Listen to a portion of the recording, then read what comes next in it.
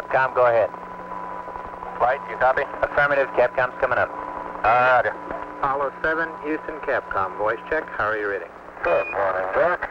On the Now you're five by, Wally. Uh, number two, Capcom give you a check. How do you read, Wally? Hey, Thomas, uh, we'll drop in and see you about 11 days. Roger. Everything looks good here. All Delta P lights out and looks great. okay. See you around, Tom.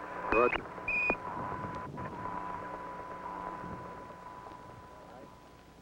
It's October 11th, 1968.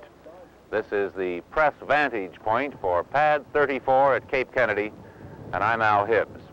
I'm surrounded by cameras. Behind me, there are TV trailers and a mock-up of the Apollo spacecraft, designed to carry men to the moon before the end of 1969. And that's the reason we're here. In a few minutes, we'll witness the first launching of a manned Apollo spacecraft. Right now, we don't know what the outcome of that launch or this mission will be, but over the next half hour, we'll be bringing you an account from now until the final debriefing, which may be days or weeks from now. Inside the capsule are astronauts Wally Schirra, Donn Eisele, and Walt Cunningham. It was exactly, almost exactly, six years ago that Wally Schirra piloted his Mercury spacecraft six times around the globe. Then spaceflight was in its infancy. About three years ago, he maneuvered the Gemini 6 into a nose-to-nose rendezvous with Gemini 7, an amazing accomplishment for a space program in its adolescence. And now, this same human being is piloting the test flight of Apollo, a spacecraft designed with some place to go, the moon. A space program and a career coming of age together. Donn Eisele and Walt Cunningham are both space rookies. They haven't flown before, but perhaps six years from now they'll be able to look back on an equally illustrious history. We know that the Apollo has never orbited men before, and this is just a shakedown flight to prepare for the later reach to the moon. The powerful Saturn 1B booster is making its debut as a manned launcher. But there have been 14 previous flights of the Saturn 1 family of rockets, and every one of them was successful. That's quite an accomplishment and a tribute to the genius of Dr. Wernher von Braun. Two minutes, 45 seconds and counting. It appears that the automatic sequencer is in at this time. T minus two minutes and 30 seconds. At this point, It's time to focus our attention on the launch pad. Share with me Chapter 1 in the log of Apollo, Apollo 7. Roger.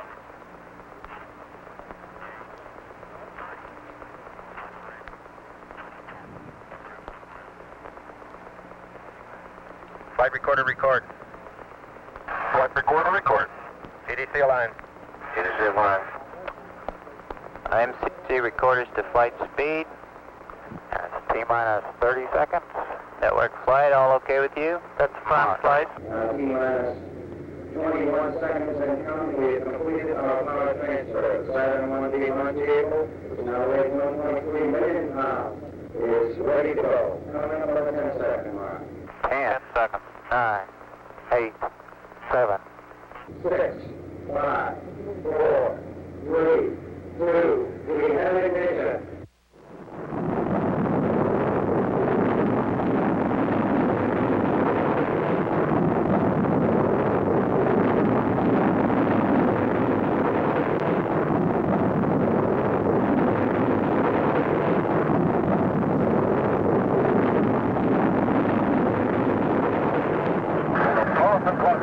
Liftoff. Roger, Godspeed. Apollo 7. Clock start flight. Clear the tower. Clear to tower.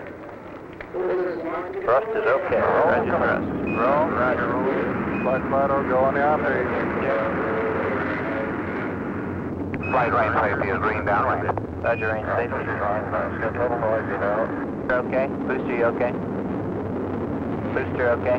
Go flight. Everything okay, Bill? That's affirmed. GNC? Go flight. EECOM? Cabin relieving flight. We'll go. Roger. GNC okay? Flight. Com? Roger. Searching, how are you? Hold That's one dual now. flight. Okay. Charlie? Booster, I need your status for staging. We're go. Fido, how about you? Green and go, flight. Go for staging, Capcom. Apollo 7, you're a go for staging. Roger, we'll go here, Jack.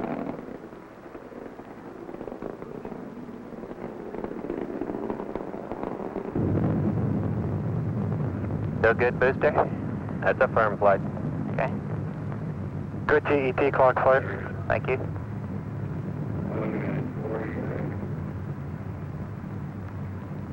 EECOM, how you doing? Looks good, flight. Gimbal's on. Gimbal's on, roger. Trimmel's good, flight. Good, 7. Roger. They jettison the tower flight. Guidance initiate.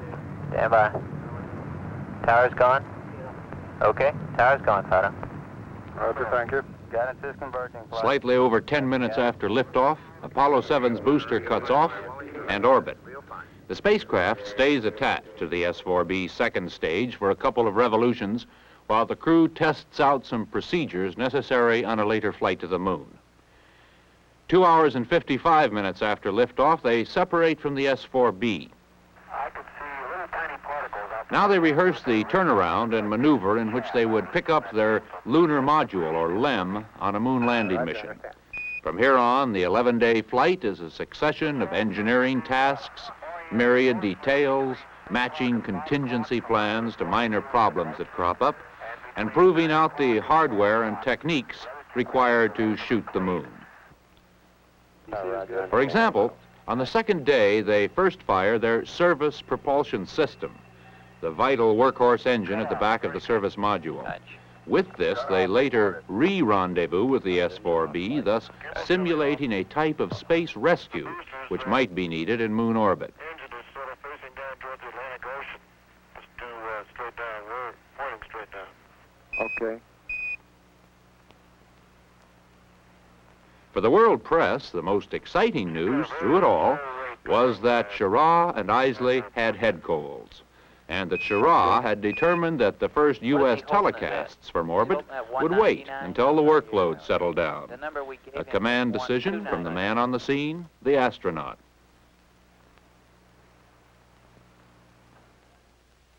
There it is. Hey, we got you. I can see Eisele talking there. Hey, Don, turn your head to the right. There you go. Hey, you're picking up. I can read it now. Just a minute. It says from that uh, lovely Apollo something. You guys should write Follow room. High atop everything. something. High atop everything. Looks good. Tom, you can look at it better on your TV. It's more accurate on your little tube. Channel 51. Right now, we're going to let the astronauts give us their own guided tour of the orbit, as they did at the LBJ Ranch on November 2nd. We'd like to tell you about our flight the easy way. The first thing I'd like to do is to project some of the film that was taken with the spacecraft camera. We had a 16 millimeter camera on board. One of our first concerns was that we had had problems with other crews in extravehicular activity, or EVA. In this case, we were within a large spacecraft where we could move, and we were concerned somewhat about IVA, or intravehicular activity. As a result, we carried extra film with us, and it was quite surprising. IVA was a delight. It was very pleasant and a very easy environment for man to live in, to adapt to immediately. Um, Walt, would you describe this? You were the photographer here. These are the pictures that we took uh, after the S-4B separation and turnaround. And Wally's flying the spacecraft back in uh, very gently, ever so gently, I should say.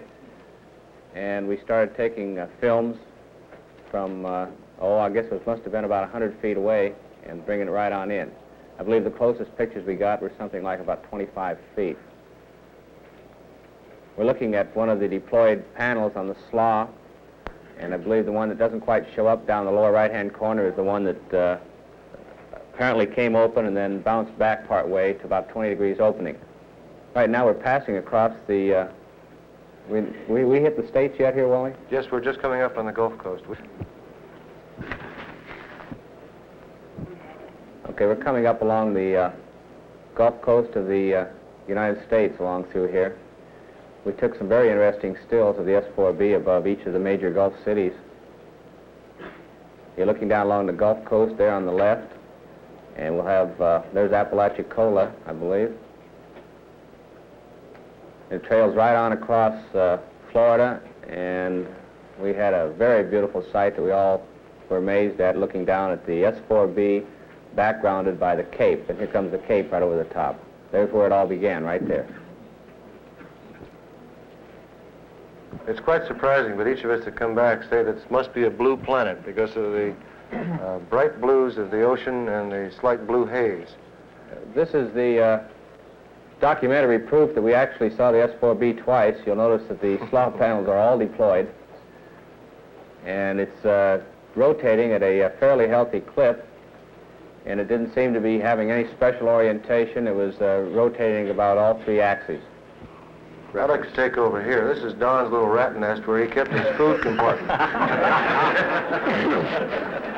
I found a little crack above the, uh, the optic stowage panel.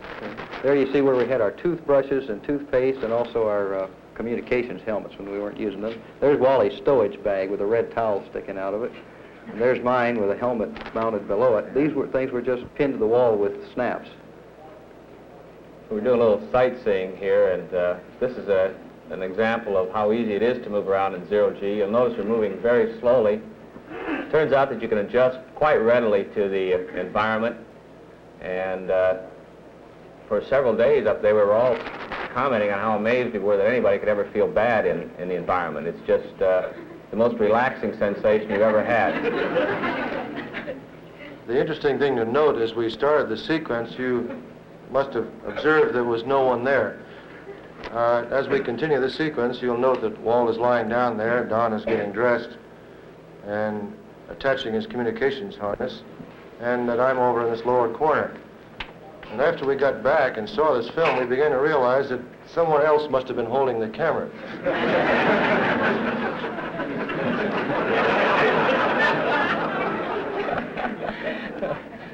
It seems the television films, uh, that caused some consternation too, and there was no one in the couches. There, there seems to be a tendency of, of uh, the ground, I think, to believe that uh, unless somebody is sitting there, you know, really flying all the time, it's not going to stay up, but it, it's obviously not the case. Don is at the lower equipment bay, uh, as he is typically shown in these films, eating something, uh, working at the sextant for an alignment. And rather interestingly enough, we had attachment points, uh, Velcro, which is a sticky material at the base of the spacecraft, to hold us in position. You'll notice Don isn't even using it. He is held in position basically by minor soft handholds.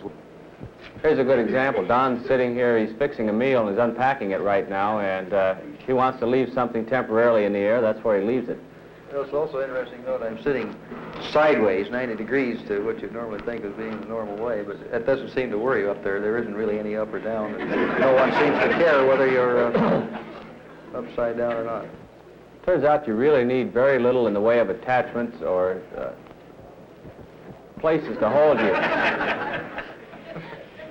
Here's Wally doing a demonstration of uh, zero-G uh, maneuverability. And well, you, ought to see, you ought to see him come back. He's just as graceful as you ever saw anybody. Gazelle Boy Schirra.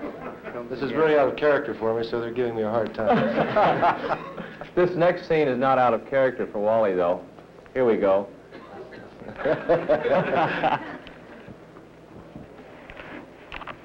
Now, Walt is the gymnast of the group, and he had to have his opportunity.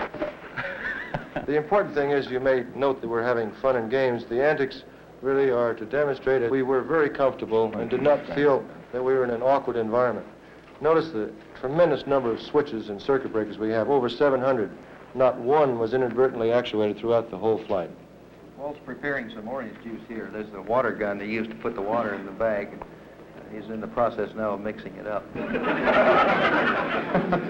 now, this was to illustrate uh, what gas bubbles do when you uh, uh, spin something. They don't actually coalesce into one large bubble, but they do concentrate in the center of the bag due to centrifugal force. By spinning it up, we found that uh, the little small gas bubbles would coalesce in the center. Uh, here I'm showing a plastic bag of coffee. This was our great high point after the rendezvous to have a plastic bag of coffee. Uh, notice the bubbles as they move. And this is quite interesting to us. We've had all sorts of experiments to determine how bubbles